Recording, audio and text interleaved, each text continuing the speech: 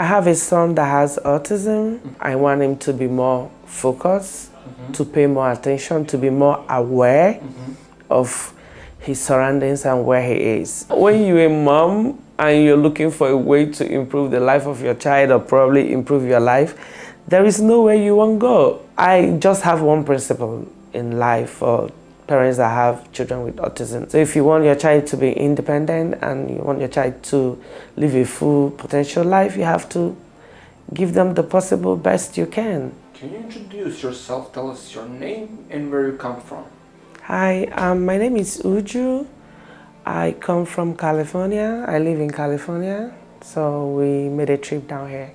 Can you tell us about your health issues and challenges that you experience in day-to-day life?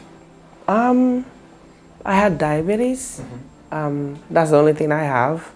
Um, so I'm looking for anything and any procedure that can help reverse it because I'm on medication and insulin and it's not something I want to do for the rest of my life. So if there's a treatment out there that is promising to help reverse or minimize the effects of diabetes, I will take it and that's why I'm here. Great.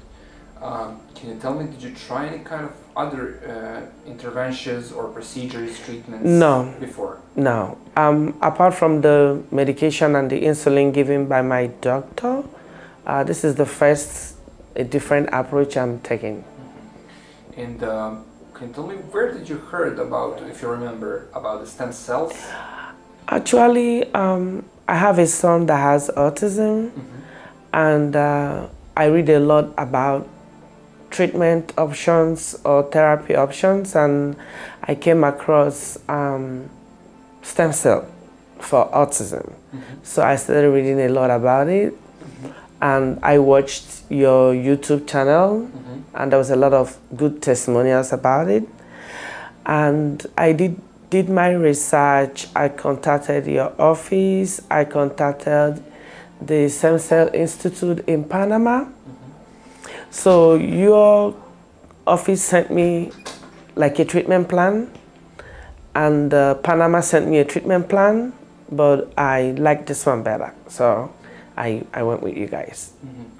You briefly So um, while I was researching for treatment for um, autism, there's a lot of treatment, stem cell treatment for other options um, for diabetes. So that's why I sought the, the treatment too. Thank you. Um, can you describe us? You mentioned your son has autism and that you were primarily looking for a treatment for him. Can you tell us uh, what was his, what was his symptoms and challenges that he faces in the current face? Oh my God. Um, hmm. I think his primary challenges right now is focusing, Mm-hmm. lack of attention, mm-hmm. and a lot of repetition. Mm-hmm. Yeah, he kind of repeats everything he does, and um, I want him to be more focused, to pay more attention, to be more aware of his surroundings and where he is. He's now verbal, he's now mostly compliant, um, he's growing, so I wanted him to have a behavior that is more appropriate with his age. That means focusing, being aware, listening to instructions, and following instructions. So that's why we're here. Did you have any concerns or uh, doubts about stem cell therapy before you? Like like everything new, you're gonna have doubts about it because you didn't witness it firsthand. Um, but I have hope. We just started the treatment, so I know they said you're gonna see changes hopefully within a couple of months. So I'm still hopeful. Uh, I can't have that at the beginning stage, so I have to wait and see. Good, good. Mm, did you maybe discuss your uh, the idea of receiving stem cell treatment with your doctor or your medical practitioner in your home country? No, I didn't. Um, I did discuss it with one of my son's therapists, which is like a family member right now, and she's very knowledgeable and extensive in in, stem- in autism therapies. So I asked her, I said, hey, I've heard about this. What? Oh, she said, oh, I have one family that swears by it that is really good. That's what she told me. Mm-hmm. So I said, okay, I'm looking into it. She said, yeah, you can, you can try it. So, yeah, um, because it's, it's not vastly known, and especially we don't have like this kind of stem cell therapy in America. Mm-hmm uh, a lot of people kick against something they don't know. Mm-hmm. Many people say it is not scientifically um, proven, but I watched testimonies and I read about it, and stem cells seems to be working. So I don't know what other scientifically proven that they're looking for. So I don't know. Mm, how did you overcome apprehensions or concerns traveling to another country, and in your case, to another continent? to receive treatment.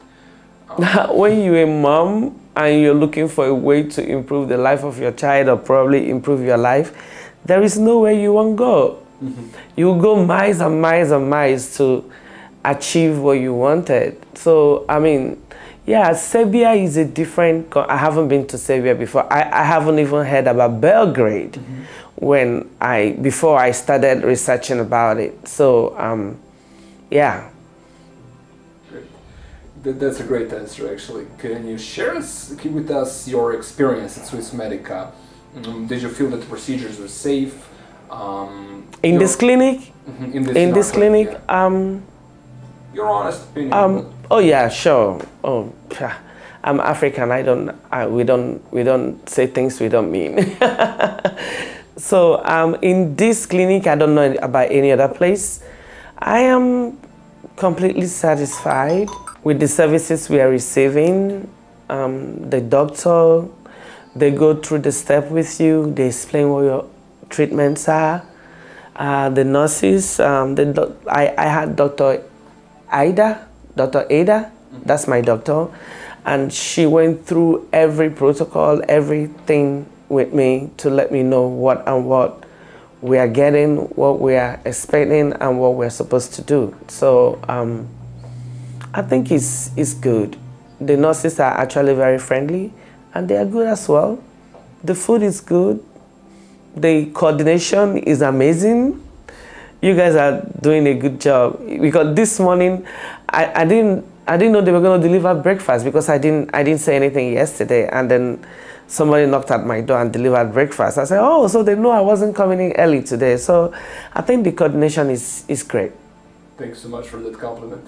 Um, can I ask, out of all options available, um, why did you choose Swiss Swissmedica? You mentioned that you were considering Panama as well.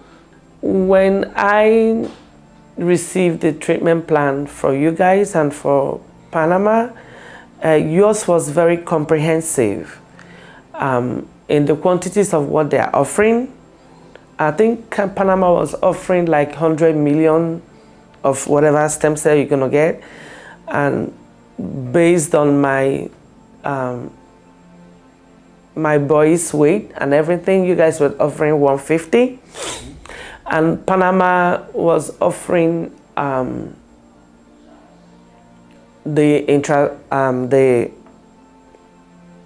infusion, mm-hmm. but you were offering infusion, injection, and and inhalation.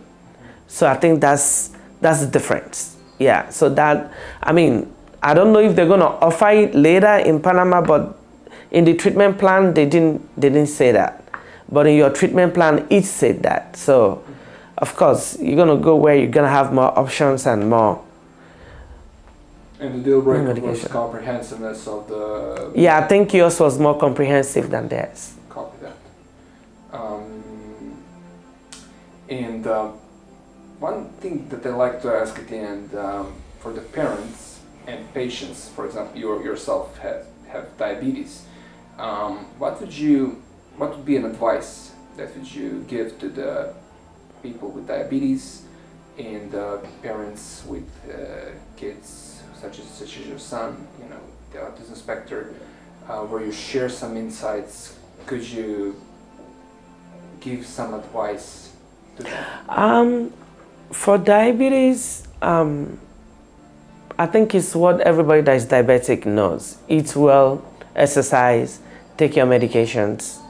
Um, I do exercise, I try to eat well, it's a challenge.